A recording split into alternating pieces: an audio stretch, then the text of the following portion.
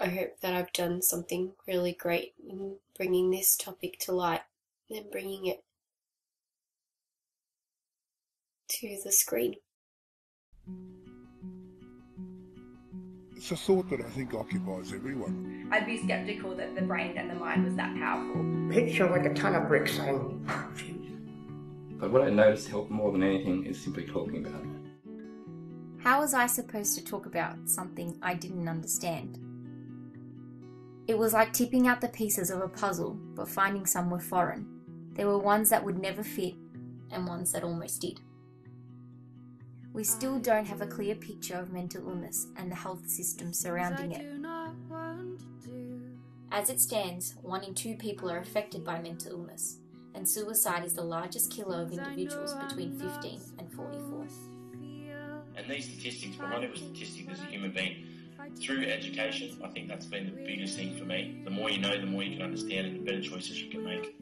When you Google treatments for mental illness, effective treatments are stated to be medication and therapy.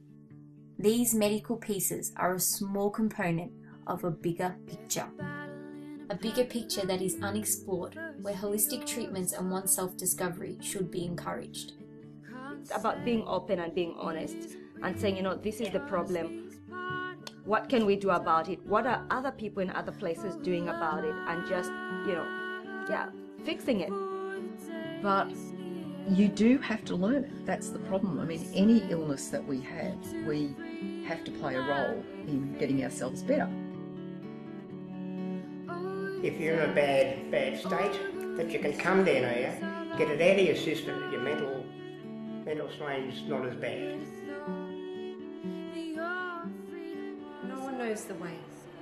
No one knows the ultimate direction. If we're understanding and learning along the way, that's more than what we could hope for in the world.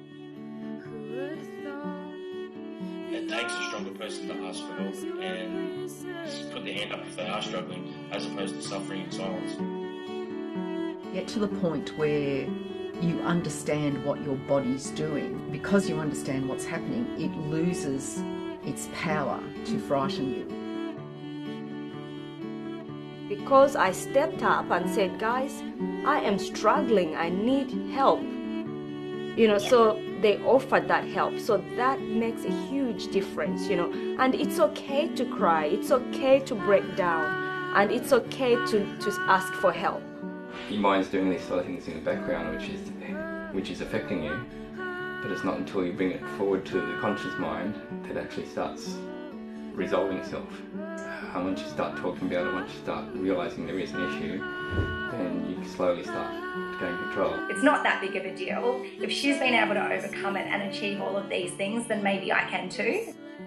We may not have all the pieces, but someone else's journey may be the key to our recovery.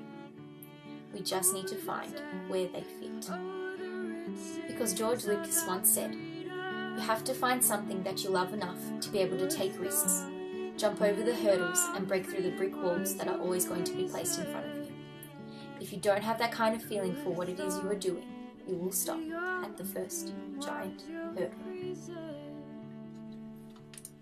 Who would have thought that your freedom was your prison?